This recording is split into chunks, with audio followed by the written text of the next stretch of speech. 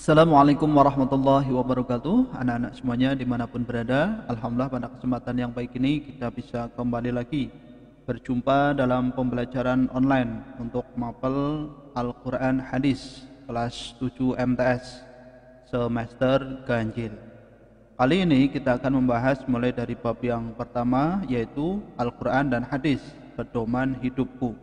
Ini tentu materi yang sangat penting ya mengingat Al-Quran dan hadis merupakan dasar hukum Islam yang harus kita kuasai dan harus kita ketahui serta kita amalkan dalam kehidupan sehari-hari.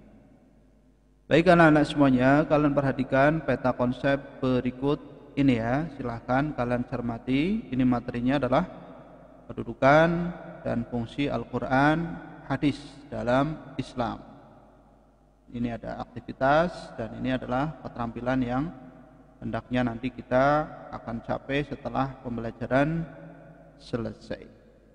Oke anak-anak, yuk kita langsung masuk ke materinya. Kalian amati dulu. Ini ada gambar ya, siswa sedang belajar Al-Quran. Kalian amati. Saya baik semoga kalian di rumah juga sudah membiasakan diri belajar Al-Quran dan mentadarus Al-Quran. Yang pertama adalah Al-Quran. Apa itu Al-Quran? Menurut cendikiawan Muslim Quraisy Shihab, kata Al-Quran berasal dari kata kerja qoro'ah yang berarti membaca dan kata dasarnya adalah Quran yang berarti bacaan. Ya, Al-Qur'an itu adalah bacaan secara bahasa.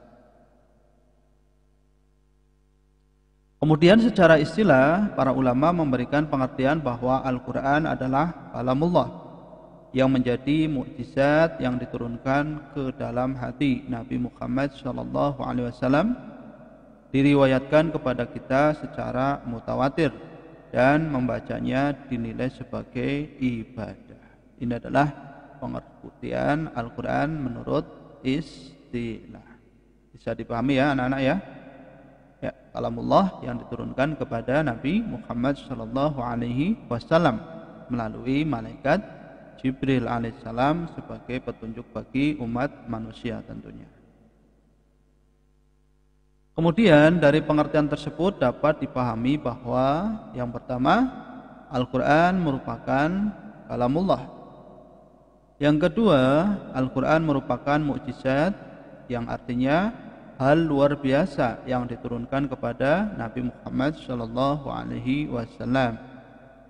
Yang ketiga Al-Quran diturunkan ya atau difirmankan secara mutawatir Membacanya merupakan ibadah, membaca Al-Qur'an menjadi tanda keimanan seseorang ya. Jadi Al-Qur'an ini diturunkan secara berangsur-angsur dan membacanya adalah bagian dari ibadah. Yang kedua, nama-nama Al-Qur'an. Ya, di antara nama-nama Al-Qur'an yang pertama adalah Kitabullah ya atau Kitab Allah Hal ini sesuai dengan Al-Quran surat Al-Baqarah ayat 2. Mari kita baca bersama. Bismillahirrahmanirrahim. Dzalikal kitabu la raiba fih muttaqin. Yang artinya kitab Al-Quran ini tidak ada keraguan padanya petunjuk bagi mereka yang bertakwa. Ya. Al-Quran surat Al-Baqarah ayat 2. Selain kitab Allah ya atau kitab Allah ada juga nama lain dari Al-Qur'an yaitu Al-Furqan. Kalian lihat dalam Al-Qur'an surat Al-Furqan ayat 1. Mari kita baca bersama. Bismillahirrahmanirrahim. Tabarakalladzi nazzalal furqana ala 'abdihi liyakuna lil 'alamina nadhira. Maha suci Allah yang telah menurunkan Al-Furqan yaitu Al-Quran kepada hambanya agar dia menjadi pemberi peringatan kepada seluruh alam. Al-Qur'an surat Al-Furqan ayat 1 ya. Ini adalah nama-nama lain dari Al-Qur'an ya dan masih ada beberapa nama Al-Qur'an yang lain namun kita tidak bahas pada kesempatan kali ini. Kemudian fungsi Al-Qur'an. Yang pertama, Al-Qur'an dalam Islam. Ya, kalian perhatikan fungsi Al-Qur'an secara umum sebagai sumber ajaran atau hukum Islam yang utama. Kemudian sebagai konfirmasi dan informasi terhadap hal-hal yang tidak dapat diketahui oleh akal Kemudian petunjuk hidup manusia ke jalan yang lurus tentang berbagai hal. Kemudian sebagai pengontrol dan pengoreksi terhadap ajaran-ajaran masa lalu yaitu Injil, Zabur dan Taurat. Ya, ini adalah fungsi Al-Qur'an dalam Islam. Di dalam Al-Qur'an ada tiga fungsinya sebagai petunjuk Al-Quran menjadi petunjuk bagi manusia secara umum, petunjuk bagi orang-orang yang bertakwa, dan petunjuk bagi orang-orang yang beriman. Bisa dipahami ya anak-anak ya? Oke, kita lanjutkan. Al-Quran merupakan penyempurna kitab-kitab terdahulu. Nah ini, kalian perhatikan ya. Terdapat dalam Al-Quran surat Al-Ma'idah ayat 48. Mari kita baca bersama. Bismillahirrahmanirrahim.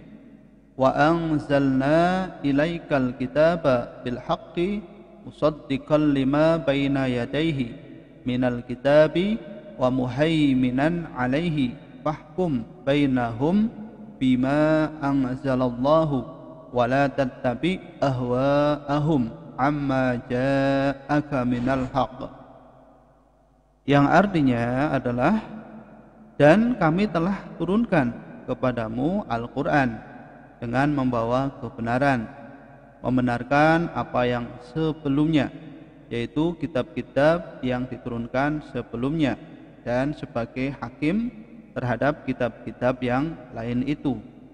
Maka putuskanlah perkara mereka menurut apa-apa yang Allah turunkan dan janganlah kamu mengikuti hawa nafsu mereka dengan meninggalkan kebenaran yang telah datang kepadamu. Ya, Al-Qur'an surat Al-Maidah ayat 48.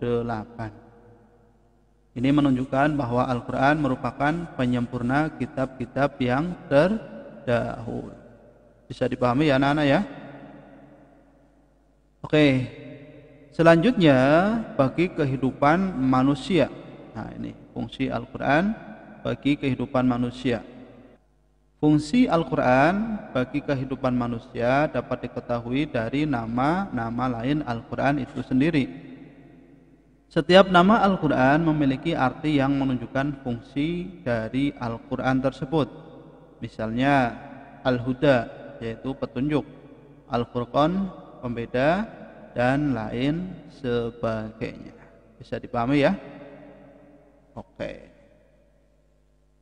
Nah, setelah kita tadi belajar Al-Quran, sekarang kita masuk ke pembahasan mengenai hadis. Apa itu hadis? Kalian perhatikan. Pengertian hadis secara bahasa adalah baru, tidak lama, ucapan, pembicaraan, dan juga cerita. Kemudian menurut para ulama, hadis merupakan sinonim dari sunnah yaitu setiap sesuatu yang diriwayatkan atau dinisbahkan kepada diri Rasulullah Shallallahu Alaihi Wasallam, baik berupa perkataan, perbuatan, dan juga penetapan sifat atau perjalanan Nabi baik sebelum atau sesudah diutus menjadi Rasul. Ya, ini adalah pengertian hadis secara bahasa dan juga istilah. Silakan kalian cermati dan pahami dengan baik. Anak-anak semuanya, hadis ini ya di dalamnya terdapat yang pertama ada perkataan, yang kedua perbuatan, kemudian mendiamkan dan juga sifat himmah. Nanti kita akan bahas satu per satu ya. Yang pertama adalah perkataan. Yang dimaksud dengan perkataan adalah segala perkataan yang pernah diucapkan oleh Nabi Muhammad Shallallahu Alaihi Wasallam dalam berbagai bidang, seperti bidang syariah, akhlak, akidah, pendidikan dan juga lain sebagainya. Ya, ini adalah perkataan. Kemudian perbuatan Perbuatan adalah penjelasan-penjelasan praktis Nabi Muhammad Wasallam terhadap peraturan-peraturan syarat yang belum jelas teknis pelaksanaannya. Halnya jumlah rakaat, cara mengerjakan haji, cara berzakat dan lain-lain. Perbuatan Nabi yang merupakan penjelas tersebut haruslah diikuti dan dipertegas dengan sebuah sabdanya. Ini hadis mengandung per perbuatan Rasulullah Shallallahu Alaihi Wasallam. Selanjutnya takrir. Apa itu takrir? Takrir adalah keadaan beliau yang mendiamkan atau tidak mengadakan sanggahan dan reaksi terhadap tindakan atau perilaku para sahabatnya serta menyetujui apa yang dilakukan oleh para sahabatnya itu ya. Jadi takrir ini adalah sikap diam Rasulullah Shallallahu Alaihi Wasallam yang artinya juga Rasulullah tidak memberikan sanggahan atau reaksi terhadap tindakan perilaku para sahabat sahabatnya. Ya, artinya Rasulullah itu menyetujui apa yang dilakukan oleh para sahabatnya itu. Baik. Kemudian yang keempat sifat keadaan dan himah atau keinginan Rasulullah Shallallahu Alaihi Wasallam. Maksudnya adalah yang pertama sifat-sifat Nabi yang digambarkan dan dituliskan oleh para sahabatnya dan para ahli sejarah baik mengenai sifat jasmani maupun moral atau akhlaknya. Yang kedua, silsilah nasab, nama-nama dan tahun kelahirannya yang ditetapkan oleh para sejarawan. Yang ketiga, himah atau keinginan Nabi untuk melaksanakan suatu hal seperti keinginan beliau untuk berpuasa setiap tanggal 9 Muharram dan lain-lain. Ya, ini adalah himmah. Oke, baik kita langsung masuk ke fungsi hadis ya. Kalian perhatikan fungsi hadis terhadap Al-Qur'an. Yang pertama adalah mengukuhkan hukum yang sudah ada dalam Al-Qur'an. Ya, kemudian ya, yang kedua merinci ayat Al-Qur'an yang mujmal, yang masih bersifat global atau umum.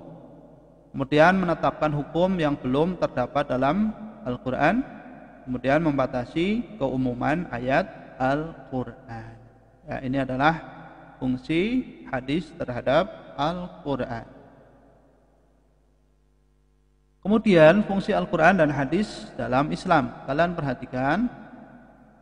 Yang pertama, Al-Quran merupakan kitab suci terakhir yang diturunkan Allah Subhanahu wa Ta'ala.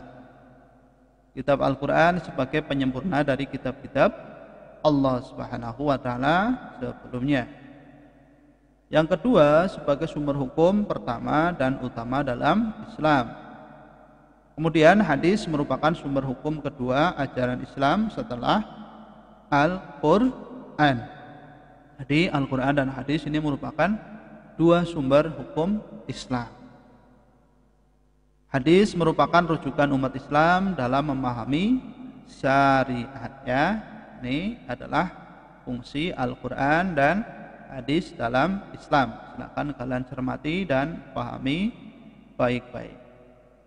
Oke, sudah paham anak-anak? Ya, baik. Kalau sudah memahaminya, tadi kita sudah membahas mengenai Al-Quran dan juga hadis. Semoga apa yang Pak Guru sampaikan bisa kalian pahami. Biar nanti kalian lebih paham, coba kalian kerjakan latihan soal berikut. Yang pertama, jelaskan pengertian Al-Quran secara bahasa dan istilah. Yang kedua, sebutkan dua nama-nama lain dari Al-Quran. Ketiga, tulislah dalil yang menerangkan bahwa Al-Quran merupakan kitab Allah. Keempat, jelaskan pengertian hadis secara bahasa dan istilah. Dan yang kelima, sebutkan tiga fungsi Al-Quran dan hadis dalam Islam. Oke ya anak-anak ya, silakan kalian kerjakan dengan baik. Semoga dengan mengerjakan soal ini kalian menjadi lebih paham dan mengerti. Demikian materi yang bisa Pak Guru sampaikan, semoga bisa bermanfaat. Terima kasih ya, insya Allah kita akan lanjutkan dalam video pembelajaran selanjutnya. Kurang lebihnya minta maaf. Assalamualaikum warahmatullahi wabarakatuh.